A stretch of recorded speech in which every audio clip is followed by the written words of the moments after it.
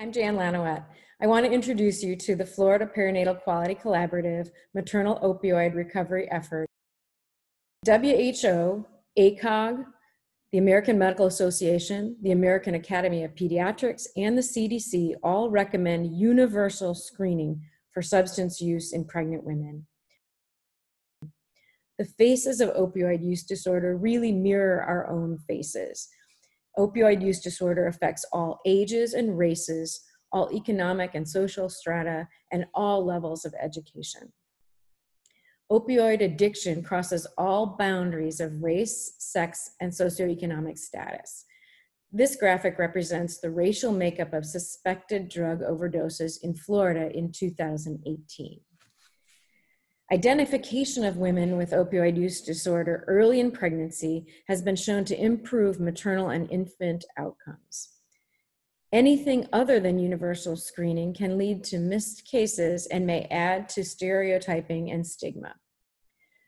Many women with opioid use disorder are fearful of sharing with obstetric providers because of past negative experiences and concerns about being separated from their newborn. We must create a safe and open atmosphere in which to screen. Screening should be done via a validated verbal or written screening tool. Several are recommended by ACOG. Universal screening with urine drug screens is controversial. It assesses only for current or recent use. A positive test is not diagnostic of opioid use disorder, and a negative test does not rule it out. Finally, Urine drug screens may not detect many substances, such as some synthetic opioids, which are increasingly being used. Women with opioid use disorder are seven times more likely to forego prenatal care. This is in large part related to past experiences with healthcare. When women face stigma in the health system, it reduces the quality of care they receive.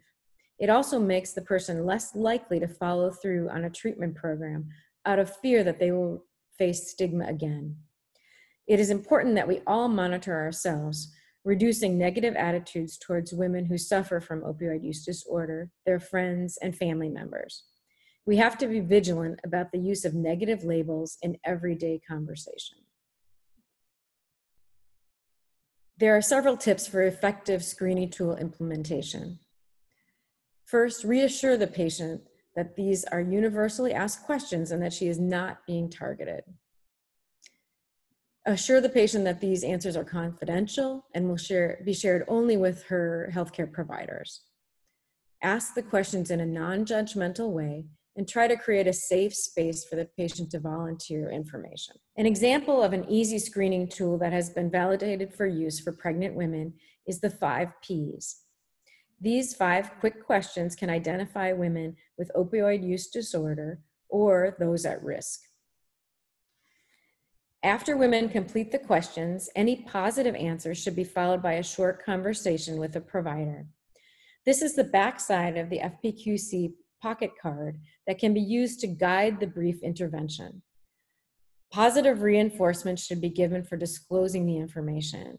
Women may feel that they're taking a risk by answering truthfully, and it is important to reinforce that they're doing the best thing for their own health care and the health of their baby by disclosing the information. An attempt should be, then be made to gauge the woman's willingness to engage in treatment. A plan of care can then be negotiated with the patient. If the woman is not ready for intervention, attempts can be made to assess any change in all future visits all women with a positive screen should be offered a prescription for naloxone and instructed in its use. The importance of providing referral for all facets of treatment cannot be stressed enough, and lists of local referral networks should be readily available. Psychiatric disorders are more common in women with opioid use disorder, 30 to 40% having a diagnosis of clinical depression. This places them at increased risk for postpartum depression, so support services are essential. In addition, psychiatric comorbidities are independent predictors for more severe postoperative pain.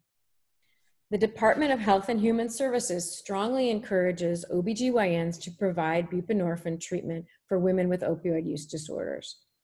The first step in providing medication assisted treatment is to obtain a Drug Abuse Treatment Act of 2000 waiver to existing controlled substance pre- prescribing requirements.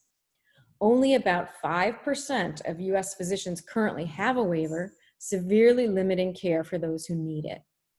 There is also a movement suggesting that all OBGYN trainees graduate equipped to provide medication assisted treatment with their patients with opioid use disorder.